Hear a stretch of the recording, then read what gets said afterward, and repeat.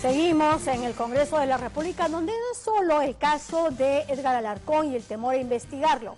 En el Parlamento estaríamos también frente a un nuevo caso de blindaje. Una vez más, Alianza para el Progreso. En este caso, el congresista Humberto Acuña, quien en primera y en segunda instancia ha sido declarado culpable de un soborno a un policía. La sentencia no solo dicta tres años de prisión suspendida, sino también, y ese es el centro del asunto, ordena inhabilitación en cargos públicos. ¿Qué dice la defensa de Acuña? Que hay que esperar, que hay que esperar lo que diga la Corte Suprema en momentos que lo que más se requiere son señales, compromisos en esta lucha contra la corrupción. Vicky Zamora y Walter Jiménez con el reportaje. La vacancia ronda nuevamente por el Parlamento. Aunque esta vez no existe el mismo ímpetu. La persona que debe ser vacada posee una curul en el Congreso de la República. Es un parlamentario al que la justicia lo ha hallado culpable, no una, sino dos veces. Yo le quería preguntar, soy yo que sabe, Sol TV, ¿qué tal? Le quería consultar sobre estos procesos que usted mantiene, aún pendientes. Los temas de mis procesos con mi abogado. El hermano menor de César Acuña Peralta, el congresista Humberto Acuña Peralta, ha sido condenado por el delito de cohecho activo genérico por intento de soborno a un policía. Humberto Acuña ha sido sentenciado a tres años de pena privativa de la libertad suspendida. Ha sido sentenciado a una multa de 68 mil soles. Ha sido sentenciado también a 30 mil soles de reparación civil y sobre todo ha sido sentenciado a la inhabilitación para ejercer durante tres años algún cargo público. En el caso del señor Acuña, no hay una sentencia después de un juzgamiento. Hay dos. Lo sentenciaron en primera instancia porque demostraron su culpabilidad. El Ministerio Público logró probar su culpabilidad. Por tanto, destruyó su presunción de inocencia. Él ha apelado su fallo. Y en esa instancia de apelación, la segunda instancia, el segundo tiempo, le ha dicho, no señor, usted cometió delito. Le ha confirmado la condena y le ha eh, reafirmado la inhabilitación. Humberto Acuña sabrá promover leyes y gestionar desarrollo para el beneficio de todos. La justicia, sin embargo, no alcanza al parlamentario de bajo perfil, pero de alto poder. Alianza para el Progreso nuevamente se coloca en el centro del debate. El hermano menor de su máximo líder se mantiene en el Congreso de la República, a pesar que dos veces la justicia ha determinado que no puede ejercer cargo público. No hablamos de inmunidad parlamentaria, sino de vacancia. Humberto Acuña debe ser vacado de su curul según la justicia. ¿Qué piensa de que algunas voces le estén pidiendo que usted sea desaforado del Congreso? ¿Puede responderle al pueblo la mayoría lo está viendo a través de Es un tema democrático y no puedo prohibir que eso opine. Si el Código Procesal Penal dice, puedo suspender a los funcionarios públicos, o sí, menos a los que provienen de elección popular. Y el reglamento del Congreso, que es la norma, es como la constitución que establece el funcionamiento de los congresistas, exige que la vacancia requiera sentencia definitiva y a pena efectiva requisitos que al momento no se dan. Esta noche en Panorama, todos los detalles sobre el caso de Humberto Acuña Peralta, detalles del soborno que se le imputa, la ratificación de su condena y el vacío legal en el que se ampara y que lo mantiene como congresista de la República.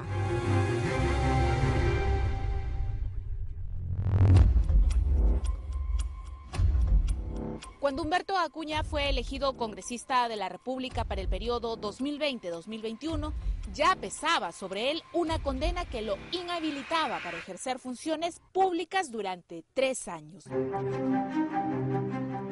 Se le condenó por haber sido cómplice de un soborno. Soborno que quedó registrado en audios y que involucra el pago de 1.500 soles que iban a ser desembolsados por Humberto Acuña, hoy congresista de la República. Ya hablé con el hombre. ¿Perdón? Ya hablé. Ya, ¿y? Kilo y medio, kilo y medio, me dice. kilo y medio. Ya, bacán. Ya, entonces le voy a decir para que te dé de una vez los 1500. Ah, pero medio kilo para ti y un kilo para mí. Mite y mite hemos quedado. El Poder Judicial autorizó interceptaciones telefónicas. La Fiscalía de Lambayeque investigaba al entonces alcalde de Chiclayo, Roberto Torres, y a Catiusca del Castillo, conocida como la jefa. Ay, acá, sí, sí, acá hay un millón, pero falta contabilizar.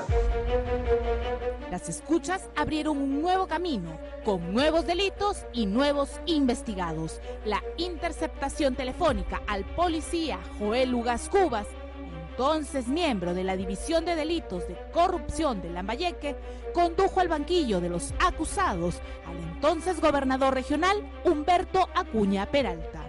El delito, soborno de funcionarios. Ayer ha venido Medina, ha presentado un escrito solicitando que se haga de conocimiento a la Fiscalía para la conducción compulsiva del señor Humberto Acuña Peralta, de Bartra y no sé quién es más. Ya, pero Humberto ya declaró, ¿no? No, no ha declarado. Pero hazle su declaración y lo hacemos firmar. No, eso sí. No hay ningún problema. Yo le puedo tomar su declaración. Si es posible, mañana mismo le hago la declaración. Lo hacemos firmar. Si a las finales el pata ha venido la vez pasada. El soborno no fue directo. Según la fiscalía, Humberto Acuña utilizó a Elber Díaz Bravo como intermediario, con el policía Joel Ugas. Eh, mi nombre es Elber Díaz Bravo, sentenciado. ¿Puede, por favor, eh, so- a, a ver, a- guardando las distancias, guardando las distancias, puede sacarse la mascarilla un ratito para poder su- describir sus características? ¿Tiene antecedentes, señor? No, ¿Algún tatuaje? no. Elber Díaz Bravo, él es cuñado del señor Humberto Acuña. Él es el cuñado. Él es el cuñado de Humberto Acuña. Yo te digo, hazle su declaración, hazle sus respuestas y los dos contigo lo hacemos firmar, porque él ya me autorizó por el tema del billete. No fueron una ni dos las conversaciones registradas, fueron cuatro y en todas ellas se habla de dinero, de 1.500 soles, de Humberto Acuña y de realizar una ficticia declaración.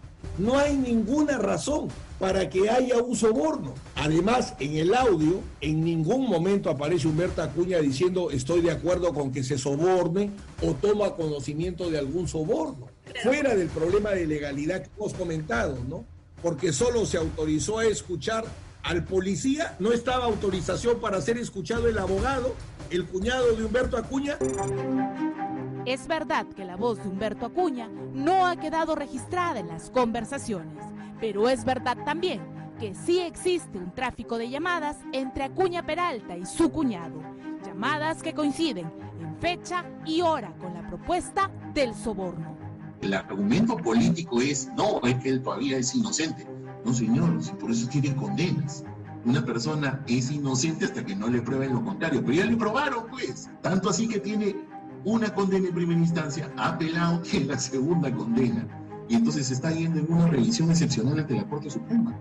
Prácticamente es como si fuera un repechaje. O sea, que está fuera. Si, si tú ya vas al repechaje porque tú ya perdiste el campeonato. Para la justicia, las evidencias son claras y la contundencia también. Los tres investigados, el policía, el cuñado y Humberto Acuña, fueron declarados culpables, aunque en distinto grado. Ugas fue sentenciado a cinco años de cárcel, pero falleció días antes de que se conociera la totalidad de la sentencia. Mi defensa principal es que no se valoró la prueba completa, porque ¿cuál era el propósito del soborno? Que Humberto Acuña no tenga necesidad de declarar y que el policía le haga preguntas y respuestas. El policía salió de escena, ya no siguió investigando, el fiscal Osores se encarga de la investigación, le toma la declaración y finalmente le archiva el caso. Entonces, ¿cuál era el móvil del soborno? Pero digamos ahí la fiscalía podría decir que el policía no siguió investigando porque él fue detenido. O sea, las escuchas solamente se dan en tres, cuatro días porque él es detenido justamente cuando cae Beto Torres. Nunca lo interrogó. Me uno a esta campaña. Humberto Acuña Peralta, el que consignó en el 2010 un falso título de maestría en su hoja de vida, el que es investigado por la Fiscalía Lavallato por el caso Olmos, el hombre acusado por su excuñada de haber cometido irregularidades mientras estuvo al frente de la Universidad Señor de Zipán, ha sido condenado a tres años de prisión suspendida y a tres años de inhabilitación para ejercer cargos públicos. Yo le quería preguntar sobre estos procesos que usted mantiene aún pendientes. Los temas de mi proceso con mi abogado.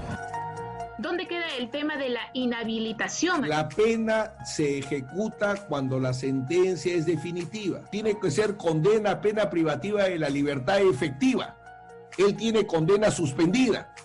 No es como tenía Donaire, tenía cinco años. El reglamento del Congreso estipula o establece dentro de sus artículos, dentro de sus normas, el caso de una pena suspendida, como es este caso, y que a ellos se les sume la inhabilitación para ejercer el cargo público? Por pena suspendida no hay vacancia. ¿Me puede poner en la norma actual? El reglamento no establece entonces la pena suspendida, hay un vacío ahí. Bueno, podrías decir que hay un vacío. No está previsto, ¿no? No está prevista la condena a pena suspendida. Es aún un misterio quién se encargará de ejecutar la sentencia del Poder Judicial, entidad que remitió su veredicto al Jurado Nacional de Elecciones para que aplique la ley. La institución, sin embargo, asegura no tener competencia en este caso, por lo que ha remitido la sentencia al Congreso de la República. Que se tenga ese vacío, repito, creo que tendría que aplicarse directamente lo que señala la Constitución y el Código Penal, porque es realmente algo lamentable que una sentencia del Poder Judicial que manda una inhabilitación en el cargo y que tiene que cumplirse de inmediato, simple y llanamente por estas cuestiones burocráticas o, o interpretaciones bastante acrobáticas de la ley, pues simplemente no se venga cumpliendo. Al pueblo no le pueden quitar así nomás la autoridad que ha elegido. Entonces los, los funcionarios públicos por elección popular no, no hay medidas cautelares para suspenderlos y para sacarlos por sentencia tiene que ser una sentencia condenatoria definitiva. Mientras Humberto Acuña espera el fallo de la Corte Suprema, la fiscal Ana Segarra de Chiclayo ha solicitado la variación de cárcel suspendida a cárcel efectiva ya que Humberto Acuña, a pesar de haber sido condenado, no una, sino dos veces, no ha cumplido con lo estipulado por la ley. ¿Y eso qué implicaría? Para que, si no cumple, pues cuando no cumple las reglas de conducta y la procedimiento es que se le revoque y se le dé pena efectiva. Sin embargo, eh, allí, eh, al haberse incluso establecido reglas de conducta dentro de las cuales está, además el pago de la reparación civil y además también se le condena al pago de una multa especificada en la sentencia. Él hasta la fecha no ha cumplido y es por eso que el Ministerio Público eh, está solicitando en este caso pues eh, que, que, se sin la suspensión de la pena porque no ha cumplido con las reglas de conducta, ¿no? ¿Cuánto blindará el Congreso de la República a Humberto Acuña? ¿Y cuánto lo blindará Alianza para el Progreso? El partido de su hermano. Partido que cada vez más se enfrenta al descrédito popular.